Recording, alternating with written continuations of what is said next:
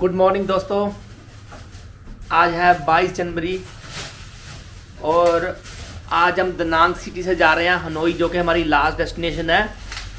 और इसके लिए हमने ऑलरेडी ट्रेन बुक कर रखी है दनांग से हनोई की, जो लगभग आठ नौ घंटे की ट्रेन है।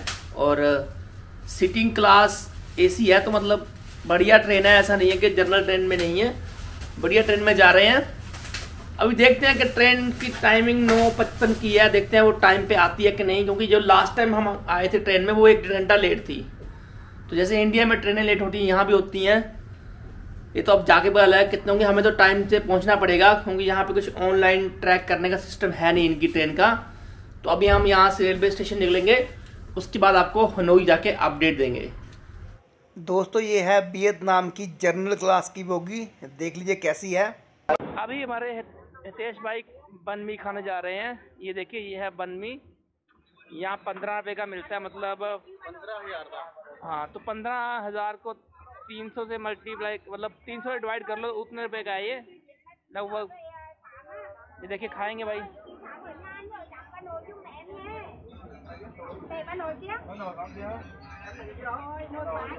कैसा लगा भाई? ठीक है। इसमें क्या क्या डला हुआ है? इसमें सॉसेस वगैरह हैं और यहाँ की कोई वो है। जैसे अपने खीरा वगैरह होता है वो उस टाइप की चीज़ें इसमें डाल रखी है। वेजिटेबल वेजिटेबल्स क्रश करी हुई है। फ्रेश करी हुई है बिल्कुल बिल्कुल। वेज बिल्कुल वेज है। आप जब आएँगे तो आपको यहाँ लगेगा पता। यही खाना पड़ेगा आपको। क्या है बनमी? अगर आप वेजिटेरियन है तो आपको यही खाना पड़ेगा। ये देखिए दोस्तों कितने अच्छे नज़ारे आते हैं ट्रेन से। इसीलिए मैंने फ़्लाइट बुक ना करके ट्रेन की यात्रा करने का फ़ैसला लिया था, क्योंकि जो व्यूज़, जो किसी कंट्री के लोकल लोग आप या गाँव वगैरह देख सकते हैं ट्रेन से, वो आप जहाज़ से जाओगे तो कभी नहीं देख पाओगे। देखिए कितनी अच्छी कोस्टल लाइन है वियतनाम की, कितने अच्छा समुंदर है मतलब बिल्कुल खाली बीचेस कोई घर नहीं है आसपास। बहुत बढ़िया व्यू थे दोस्तों, जो कि आप वीडियो में देख पाओगे। और मैंने अपनी आँखों से देखे हैं तो सोचिए कितना मज़ा मुझे आया होगा। तो मैं भी आपको रिकमेंड करता हूँ कि आप बाय ट्रेन जाइए तो बढ़िया रहेगा।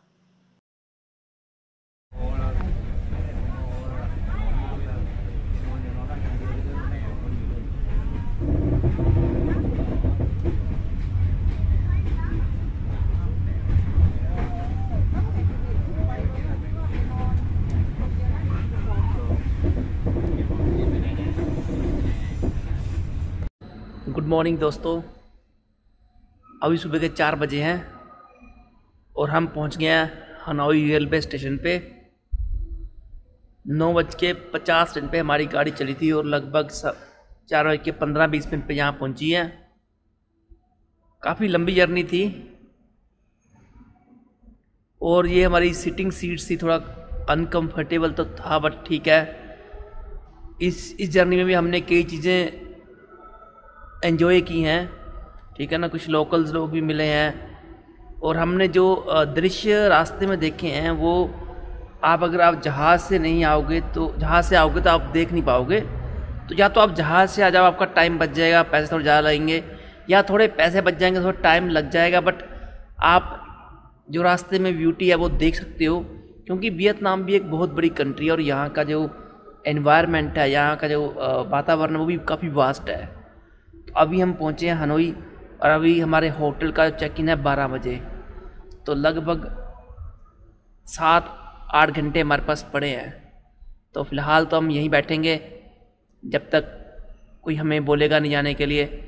या फिर हम नौ, दस बजे यहाँ से निकल जाएँगे, दस, पंद्रह मिनट हमारे होटल जाते हुए लग जाएँगे और वहाँ आधा एक घंटा पहले पहुँच जाएँगे, कोई दिक्कत नहीं है। हो सकता है कि हमें चेक इन दे दें बट मोस्टली वियतनाम में एयरली चेक इन देते नहीं हैं। फिर भी हम ट्राई करेंगे, अगर दे दिया ठीक है, नहीं तो बैग रख के हम फिर घूमने ब्रेकफास्ट करने ही चले जाएँगे। तो ये तो था हमारी ट्रेन जर्नी का। और आगे जो जो भी चीज़ें आएँगी मैं आपको दिखाता रहूँगा तो इस वीडियो को लाइक कीजिए, ज़्यादा से ज़्यादा शेयर कीजिए, और चैनल को सब्सक्राइब करना मत भूलिएगा। दोस्तों, ये है हमारा hotel hotel फैंटेसा cruise and hotel तो ये होटल है हमारा जो मैंने बुक किया है। तो जी दोस्तों हितेश भाई ने मंगा ले हैं ये न्यूडल वेज न्यूडल है। क्योंकि यहाँ पे मिल नहीं रहे थे हितेश भाई ने बड़ा जुगाड़ लगा के नूडल लिया अंकल से। और ये साथ में आ गई हैं चटनियाँ। अब नूडल कैसे खाएगा भाई? चमचा तो है नहीं इसके पास देखते हैं कैसे खाता है। हैं? चॉपस्टिक से खाएगा। तो जी अभी ये वेज में आया है तो अभी हम खाने जा रहे हैं। देखते हैं कैसे खाते हैं इसको। चम्मच वगैरह से खाना पड़ेगा इसको। हितेश भाई ने अंकल के दोस्ती करा ली है हितेश भाई? दोस्ती होगी अंकल से? तो ये अंकल हैं। अंकल ने हमें फ्री खाना खिलाया आज। देख लीजिए चाइना में भी लोग फ्री खाना खिलाते हैं। चाइना ही है क्योंकि बॉर्डर के पास है ये वियतनाम। बिल्कुल। ये है हमारा रूम। ट्विन बेड्स है।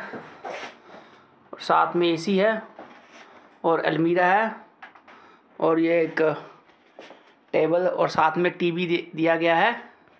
और ये है washroom hot and cold water I think इसमें है। बस बड़ा छोटा सा रूम है पर ये, काफ़ी छोटा है।